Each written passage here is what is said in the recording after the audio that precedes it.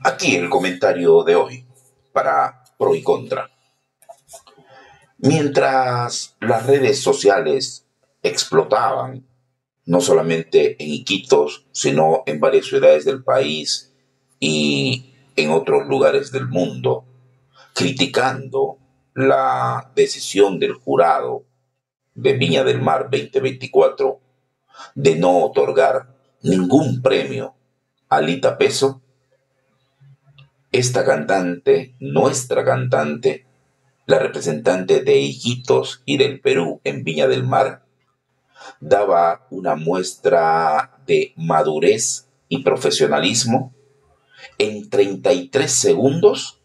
en el mensaje que ella misma difundió a través de redes sociales y varios medios de comunicación. Dijo, en pocas palabras, que el ganar un concurso no define la calidad de un artista y que este resultado ella lo toma como tal porque desde muy niña ha participado en festivales y sabe que siempre suceden cosas extrañas. Y esto al parecer es lo que sucedió en Viña del Mar. Porque no tiene otra explicación que en las dos primeras fechas de su presentación, el jurado calificador en promedio le haya dado seis puntos, coincidiendo con la votación virtual del público que la primera noche le dio 5.7 y la segunda noche 6.3 puntos por demás suficientes para hacer albergar a los iquiteños y a los que la conocemos que no solamente era la favorita, sino que se convertiría en la ganadora absoluta, tanto como mejor intérprete como llevándose la gaviota del festival. Esta coincidencia de las dos noches entre el jurado, el público de la Quinta Vergara, conocido como el monstruo, y la votación virtual, sin embargo, no se ratificó el último día de la presentación. Solamente la votación virtual y el aplauso del público de la Quinta Vergara fueron coincidentes con sus dos presentaciones. Los ocho miembros del jurado que en promedio le habrán dado dos puntos para que ella logre esos 2.7 puntos que tuvo finalmente, pues esas coincidencias no se dieron y el jurado calificador cambió drásticamente de decisión. Luego de esta decisión del jurado, en las mismas redes sociales se leían mensajes que los chilenos tienen un antiperuanismo y eso fue determinante para que Lita no ganara el festival. No es tan cierto aquello, porque en anteriores oportunidades, Jean-Paul Strauss, Susan Ochoa y otros más obtuvieron no solamente la gaviota, sino el premio a mejor intérprete aunque hay que recordar que cuando ganó Susan Ochoa y era integrante del jurado Yuri, la cantante mexicana, ella, a su estilo, dijo que había recibido presiones de los organizadores para no votar con el puntaje que se merecía sobre Susan Ochoa. Y ella no hizo caso. Y al parecer ese profesionalismo y esa decisión de Yuri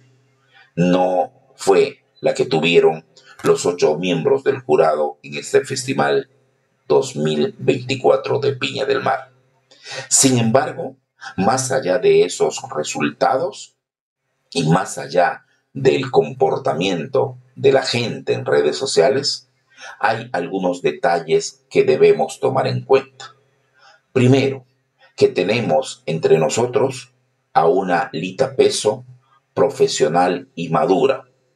y que teniendo como acompañante a Eva y John como ella misma la ha dicho, pues fue la joven de 24 años quien calmó a la experimentada cantante criolla para no reclamar oficialmente al jurado calificador, por lo mismo que dijo en su video, es un concurso donde todo puede suceder. Pero los loretanos, los amazónicos, los que seguimos la carrera de Lita Peso,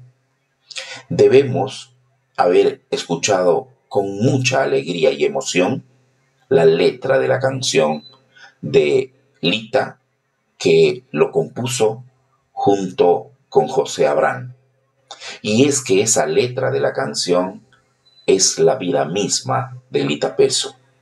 una luchadora, una artista que se ha tenido que abrir paso y espacio en Lima, donde ya tiene un lugar ganado. Una artista que no se amilana ante la adversidad.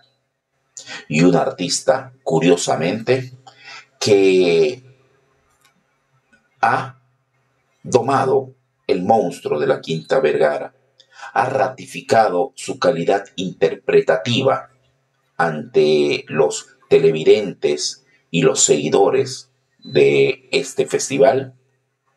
pero a Lita le falta solamente una cosa.